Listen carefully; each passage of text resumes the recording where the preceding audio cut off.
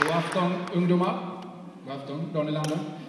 Eh, Kalle Lind heter jag eh, och eh, ni kanske känner mig från TV. Eh, det kommer ett skämt här. Jag brukar ha så här pixlar för huvudet och prata med förvrängd röst. Det är, kväll, det är det enda skämt jag har skrivit för ikväll. Så att, eh, jag, jag brände, eh, det är dramaturgiskt inkorrekt att börja med det, men det är för att visa att jag egentligen är rolig. Eh, jag ska prata här om, om en sång som eh, jag har haft mycket, kanske inte glädje, men, men eh, som jag har haft mycket utav i livet. Den heter Från en till en annan. Och eh, det är kanske inte någon av de Daniel Lander-låtar som vi alla går runt och trallar på dagligdags.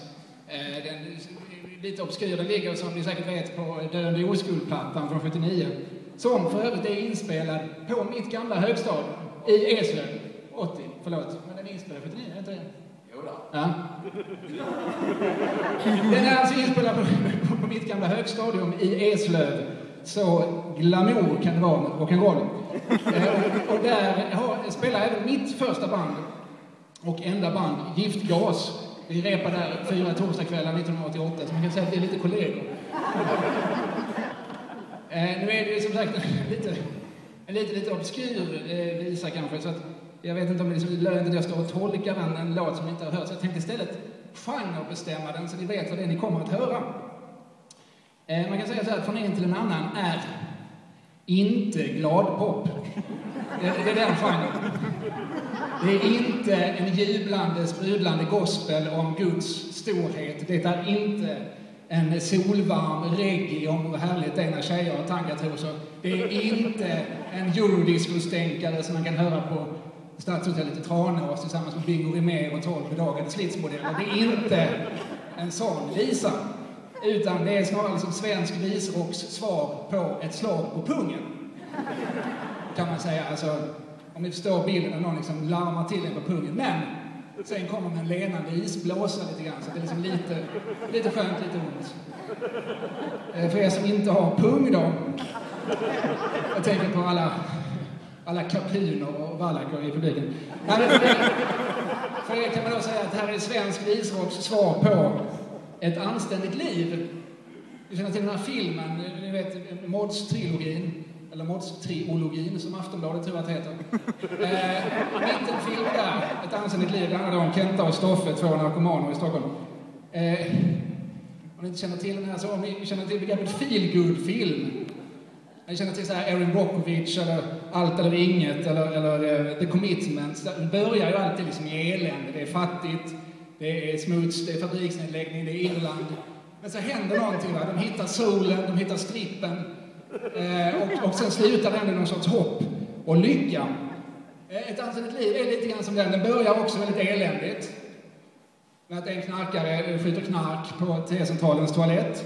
Så det är till en annan knarkare som skrapar upp blod från hans mamma och dödat sin, sin älskare. Och så klipp tillbaka till den första knarkaren. Nu står han på och ringer till sin flickvän och säger Hur har det gått på spriten idag? Har du fått ihop några torskar? Den börjar där liksom. Men sen blir den bara värre. Det är det som är skillnaden kan man säga. Mellan genrerna liksom. Sen blir det som eländigare och eländigare för liksom till slut blir eländigast. För sen dör Gustav Stoffe då, eh, en av de här knarkarna, liksom, han dör. Han dör inte en gång, utan han dör tre gånger. Två gånger säger hans kropp. Ja, men en överdos, absolut. Två överdos, men tre, nej, där får det vara bra Stoffe nu. Nu säger jag tack och adjö, säger Gustavs kropp. Han är 28 år, han har eh, flickvän, eh, han har barn. Och det är så jävla, jävla sorgligt. Och hans kompis Kenta sjunger Gustav som på plattan stod bland spyor och bland blod. Fast mycket hesare än så. Och det är så jävla, jävla sorgligt. Och det enda man kan trösta sig med är att det här är dokumentärt.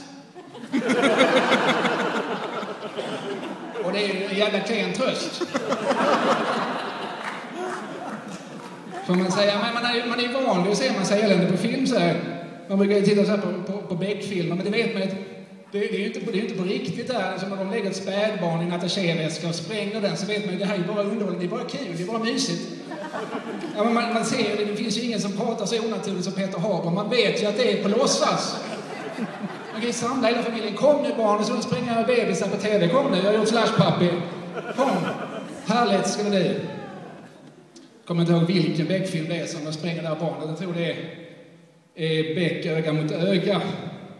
Eller möjligtvis Beck i stormens öga. Det är i alla fall den där Gunnar Larsson är så arg, ni vet. Har ni sett den här filmen? Han är skitarg. Han knyter näven, han svär tror jag till och med. Och spottar och liksom, åh, han är heligt vredgad. Det kan vara Beck, annonsmannen, möjligtvis Beck, mannen utan ansikte, eller om det möjligen är Beck, mannen med ikonerna. Det är, alltså, det är i alla fall den där Peter Haber ser som grå ut i huvudet. Eh, eh, vi pratar samma språk. Det kan vara Beck, det tysta, tysta skriket, eller möjligtvis Beck, det sista vittnet. Nej, fan, det är Beck, den svaga länken. Det är i alla fall den där det är alldeles mörkt inne på polisstationen.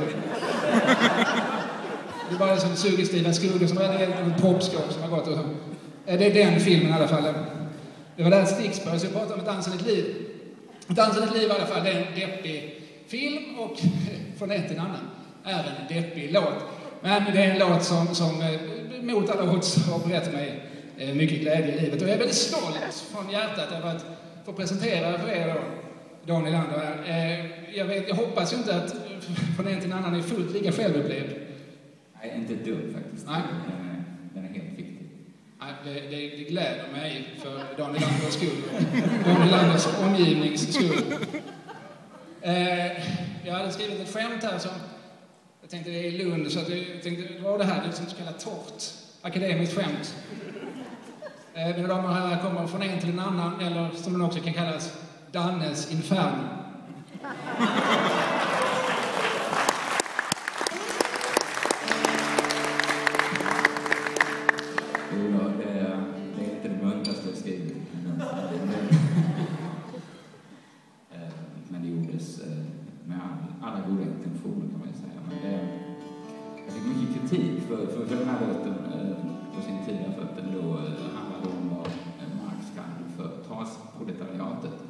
De skulle vi minsann inte ägna oss åt utan vi skulle bry oss om den arbetande klassen. Och det, var första gången jag upptäckte att jag var omodern. Eh, det var på 70-talet. Alltså. Eh, jag var för opolitisk och sen på 80-talet var jag för populär. Fick inte vara med heller. Eh, 90-talet så var jag för, för politisk så då fick jag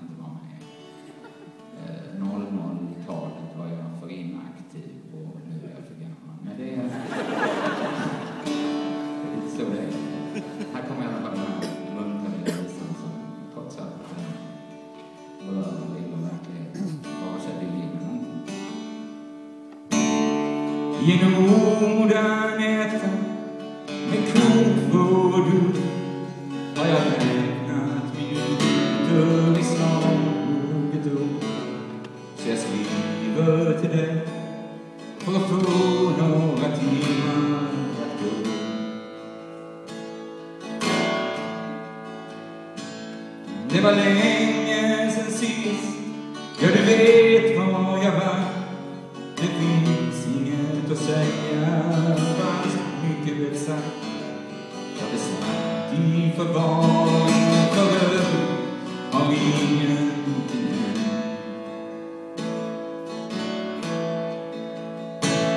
Jag fick kort ifrån källor som gift sig till slut med de blå blondinen Florence Hans jag önskade djävulen mest Finns det minnen jag gärna har kvar Han berättar att han blev på smällen igen. Men fick missfall rätt tidigt som gången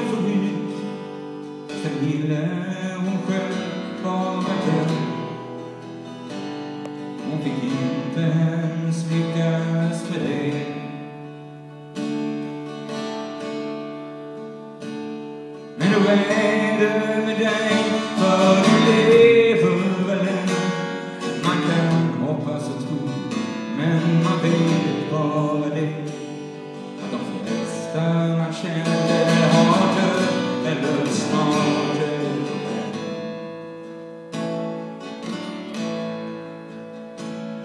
But before I let go, the long gone was man, and the blue don't go back, and nothing's gonna stay.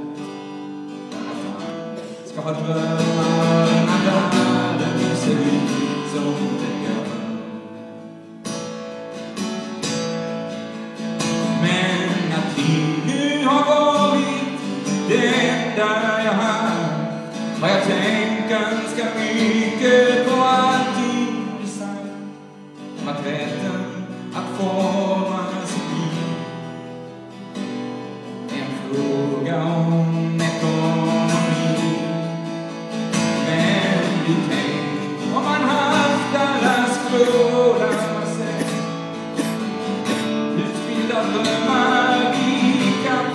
för den frihet som bara kan ut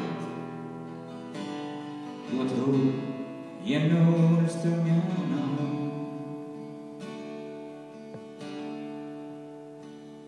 Jag är sliten som fan, fast jag gör ingenting.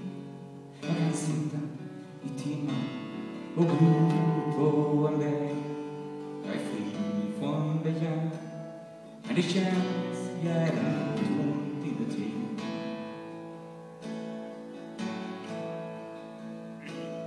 Jag har sökt några jobb, men du vet hur det är.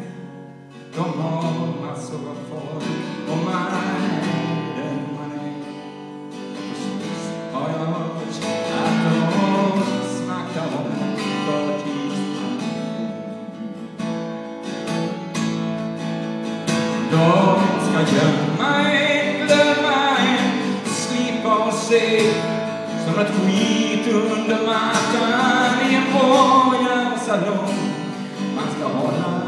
hållas från gator och torg.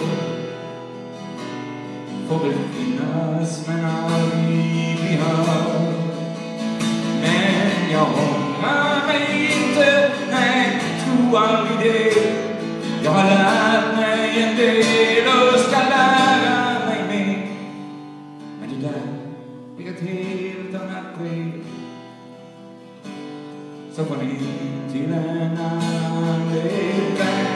mig en del